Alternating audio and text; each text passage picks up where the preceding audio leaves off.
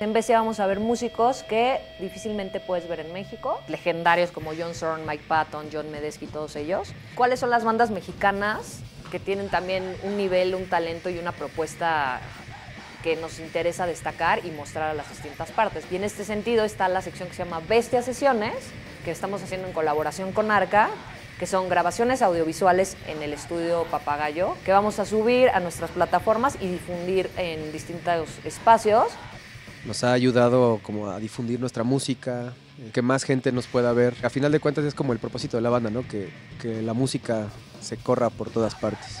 Un festival de música, se podría decir, pesada, alternativa, que nos den estas oportunidades como de, de salir en, en, el radio, en la tele, en otros foros que no solemos estar.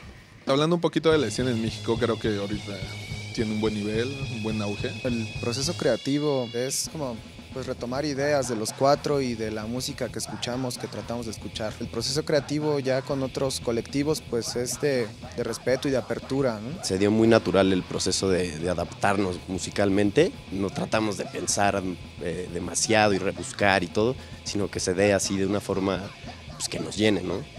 Creo que es importante y se agradece ¿no? la oportunidad y así como nosotros estamos aquí también hay un montón de bandas que pueden representar muy bien a la escena local.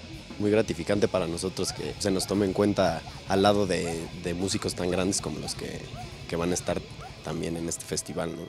Es bien interesante como la colaboración de Bestia con Arca y Arca con Bestia, porque apostó por nosotros, dejándonos la personalidad que tenemos y apostar por el riesgo y por los públicos que, que vamos a buscar y nos dejó ser, hacer y cuidar nuestra personalidad en cuanto al nombre, contenido y todo, y fue más bien como para catapultar lo que es bestia.